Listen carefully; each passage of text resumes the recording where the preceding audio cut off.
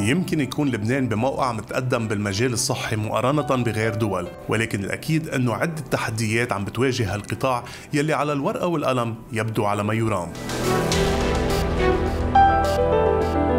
بالمبدأ وحسب المعلومات تقريبا كل الشعب اللبناني مغطى صحيا بطريقة ما.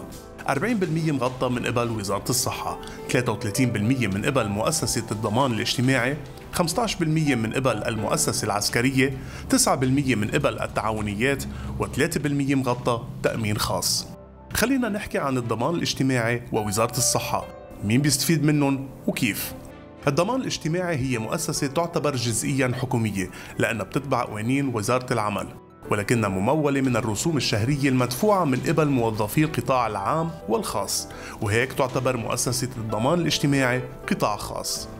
33% من اللبنانيين وموظفي القطاع الخاص بيستفيدوا من التغطية وعندهم رقم ضمان خاص فيهم بعد ما يصرح رب العمل عن توظيفه إلهم. أما وزارة الصحة اللي هي مؤسسة حكومية بالكامل فبيستفيد منها 40% من الشعب اللبناني أشخاص عاطلين عن العمل أو غير تابعين لأي جهة ضامنة. كل مريض عم يستفيد من خدمات وزارة الصحة عنده رقم صحي خاص من الوزارة ولازم يقدم برهان أنه ما عم يستفيد من المؤسسات الضامنة الأخرى مثل الضمان الاجتماعي المؤسسة العسكرية أو التعاونيات. وزارة الصحة على عكس مؤسسة الضمان تشتري الأدوية من خلال مناقصات ويعطى الدواء مجانا للمريض.